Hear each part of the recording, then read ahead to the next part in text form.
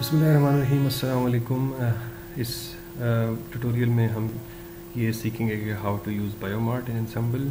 as bioMart is a very important feature of ensemble in which we can download a lot of information using one click and selecting the options whereas if you want to use ensemble genome browser without biomart then you have to search click each information separately and then click and download all the information so biomart is a very interesting feature you just have to go and click on biomart. And uh, here you have to select the database. Like if we are talking about ensemble genes that is for human uh, ensemble gene database and then select the species. For example if we select here human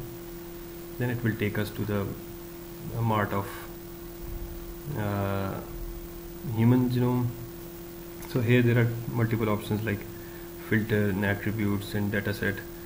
so so, यहाँ पे हमने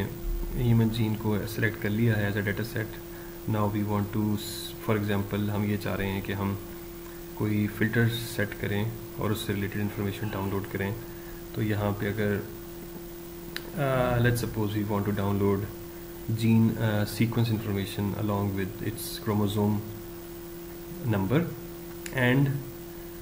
its coordinates right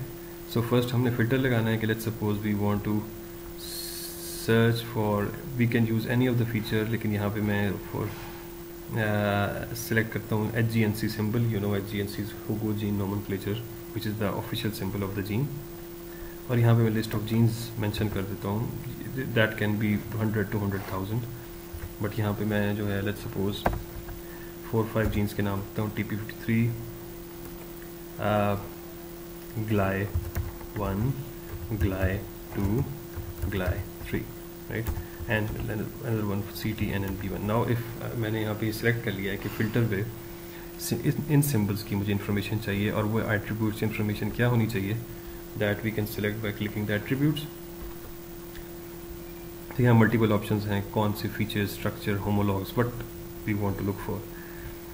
for example यहाँ पे हमने gene select किया है और gene के हमें जीन का आईडी फॉर एग्जांपल बाकी हम अनचेक कर देते हैं। हमें जीन का आईडी और उसके साथ हमें जीन की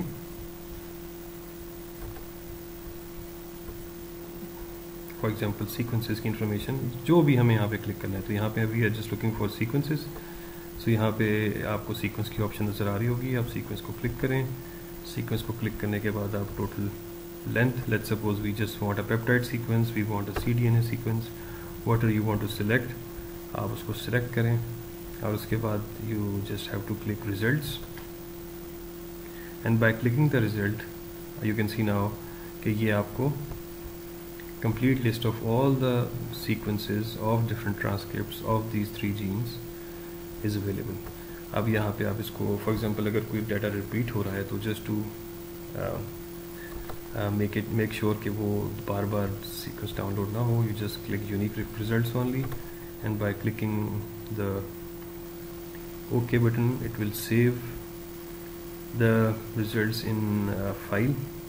and that file can be opened on your desktop or in your laptop and you can use all the information so you can see that now you have you can download all the sequence information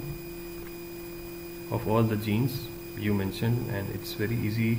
very user friendly and it will save a lot of your time by downloading each sequence information separately. Thank you